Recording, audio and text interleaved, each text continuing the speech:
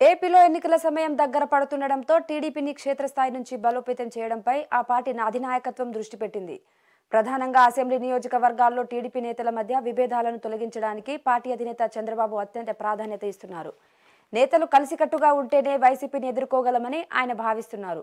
ఈ క్రమంలో కాకినాడలో నేడు జోన్ టూ సమావేశం నిర్వహించారు. ఈ సమావేశానికి చంద్రబాబు హాజరయ్యారు. బాబు షూరిటీ భవిష్యత్తు గ్యారంటీ నలభై ఐదు రోజుల కార్యక్రమంపై చంద్రబాబు పార్టీ శ్రేణులకు దిశానిర్దేశం చేశారు. ఈ కార్యక్రమాన్ని ప్రజల్లోకి ఎంత బలంగా తీసుకెళ్తే అంతగా ఫలితాలు వస్తాయని స్పష్టం చేశారు. నేతల నుంచి అభిప్రాయాలను అడిగి తెలుసుకున్నారు. ఈ కార్యక్రమంలో ప్రజలను భాగస్వామ్యం చేయడంపై దృష్టి సారించాలని సూచించారు.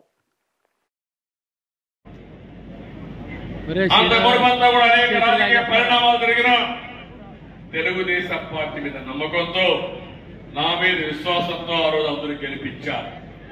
ఆ రోజు తెలుగుదేశం పార్టీ మీరు చూస్తే హైదరాబాద్ ఆ రోజు తెలుగుదేశం పార్టీ తరఫున మనందరం చూస్తే నేనే అభివృద్ధి చేశాను. బ్రహ్మాండమైన సిటీగా తయారు చేశాం.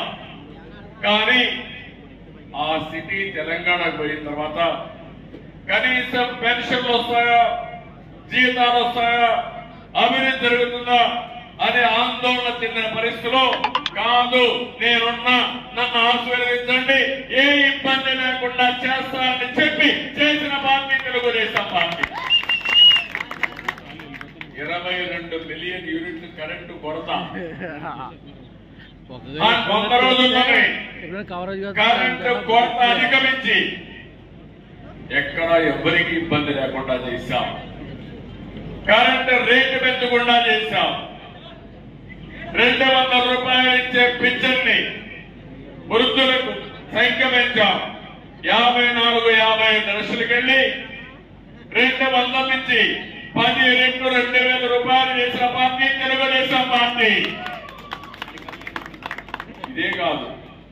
ఉద్యోగస్తులకి తెలంగాణలో ఫిట్మెంట్ ఛార్జీలు ఫిట్మెంట్ నలభై రెండు ఇస్తున్నారంటే ఏ మాత్రం కూడా వాళ్ళకు కూడా ఇబ్బంది కలగకూడదని నలభై రెండు పర్సెంట్ ఫిట్మెంట్ ఇచ్చిన పార్టీ తెలుగుదేశం పార్టీ. నీచమైన పాలన. ఒక పనికి